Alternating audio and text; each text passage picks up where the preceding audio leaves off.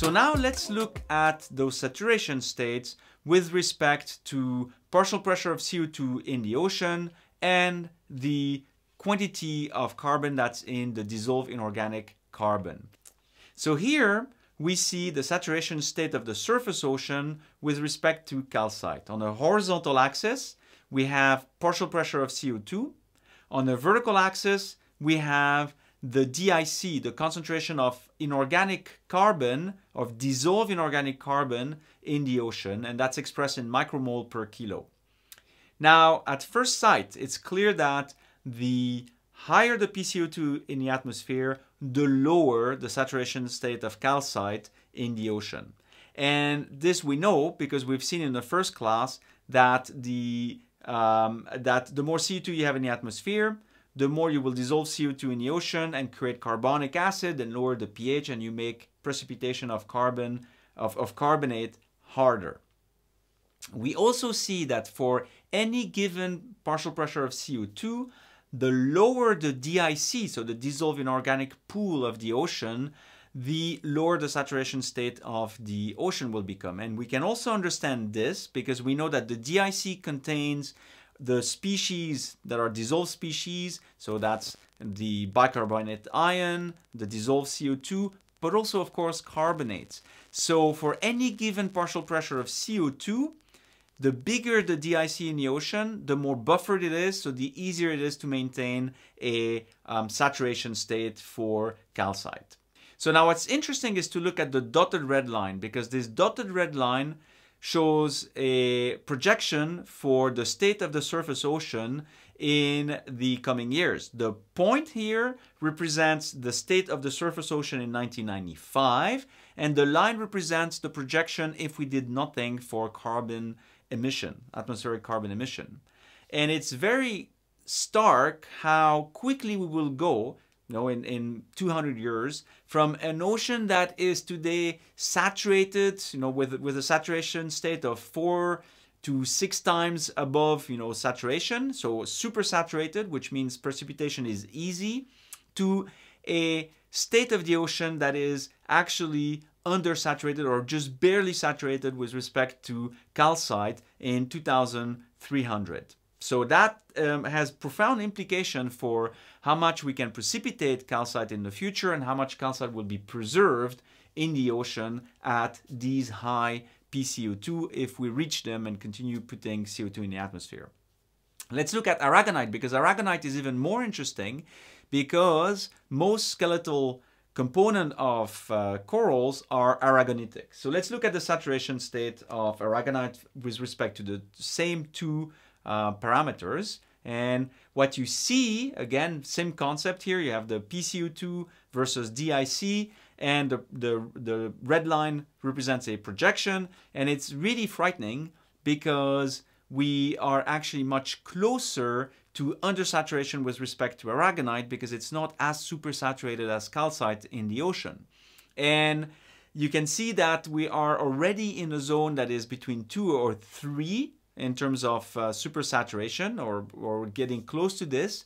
If we go below this, below a saturation of uh, or supersaturation of 3 for aragonite, it's very difficult for aragonite, uh, aragonite skeleton to be precipitated.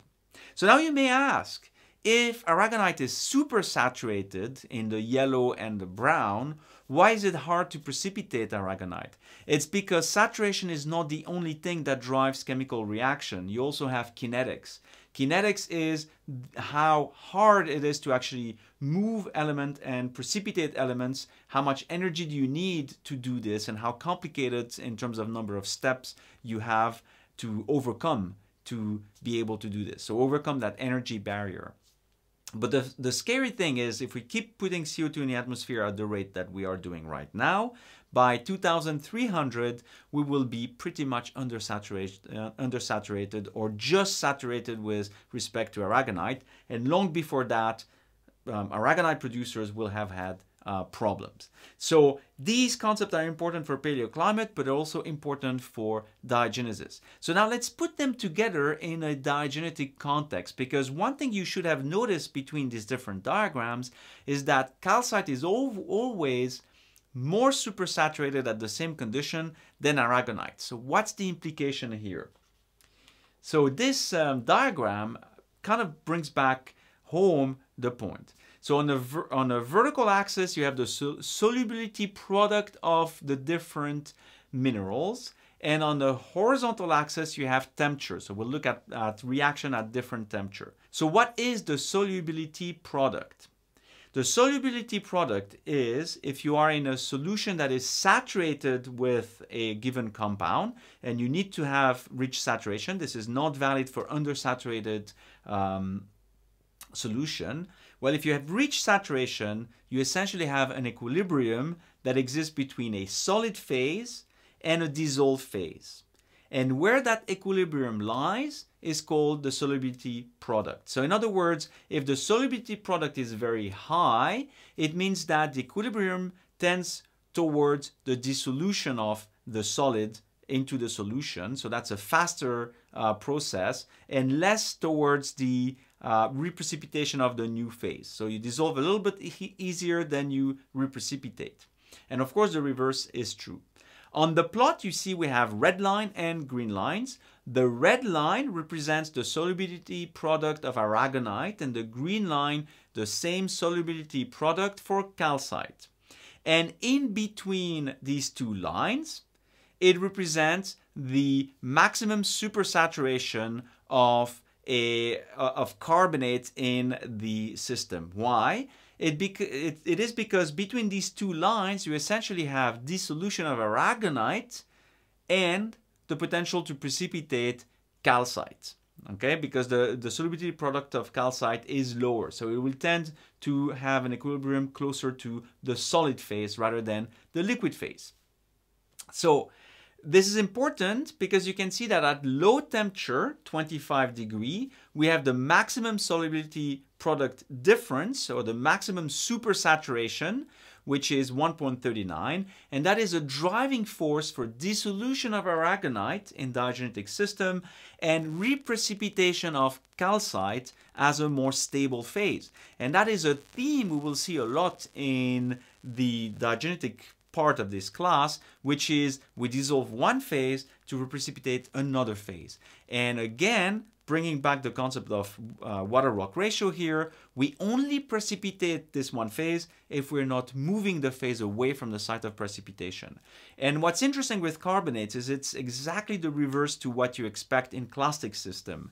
You have a higher tendency of dissolution at low temperature and a higher tendency of precipitation at high water temperature, certainly at Earth's surface condition, but also all the way up to 175 degrees Celsius here.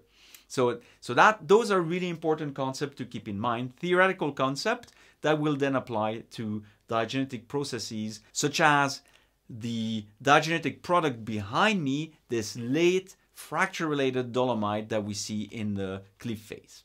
So that brings me to a few conclusions for these uh, very important concept in diagenesis. The first thing is that diagenesis is an aqueous process. You need water for diagenesis to take place in carbonate rocks. That also means that if you have emplacement of oil and displace the water, you tend to stop diagenesis. So the timing of oil emplacement has an interaction, plays with diagenetic processes. We've seen that the water-rock ratio is a key concept to understand the amount of diagenesis and that for most diagenetic process, because you want to increase the water-rock ratio if you, if you are to see diagenesis, significant diagenesis, you require a pump of fluid. So the, you can move fluids through a pumping mechanism and we'll explore what those pumping mechanisms might be in different settings. Keep in mind that if you don't have a pumping mechanism, but you have a long time of exposure of your rock to water, this also means a high water rock ratio. So these are really key concepts here. Then we've seen that pH, temperature and pressure impact mineral supersaturation. So that's really, really key.